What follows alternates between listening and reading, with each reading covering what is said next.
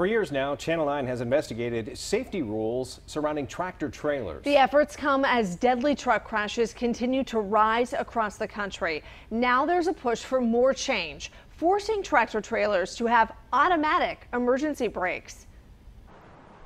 It was this fiery crash. Five Georgia Southern University nursing students killed when a tractor trailer slammed into a car in 2015 that Georgia Congressman Hank Johnson says first inspired him to write legislation requiring auto braking technology on big rig trucks. Um, I could not help but to think it could have been my daughter in that car with those students. Pam Biddle's son, Aaron, a 23 year old nursing student, was killed in 2017 when a tractor trailer didn't stop at a traffic backup, slamming into his car. They had just gotten on the road um, on one exit with the intent to get off the very next exit. This promotional video from truck maker Volvo shows off collision avoidance technology, automatic braking systems designed to keep a safe distance between semis and the vehicles in front of them. 20 automakers automakers have agreed to install similar technology on all new passenger cars by 2022.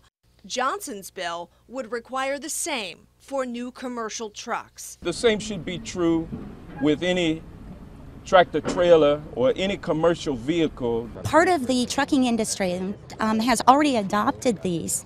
Um, features. It's not difficult and it can save the lives of so many people, including the truck drivers. So I just don't understand.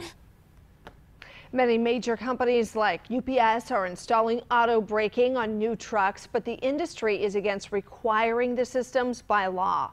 Earlier this year, I invested safety technology that could lessen the devastation of crashes into the side of tractor trailers. They're called side underride guards. Tests show the metal bars could prevent cars from getting smashed underneath the trailer. The U.S. does not require them, but Charlotte is planning to start adding the guards to some trash and dump trucks next year.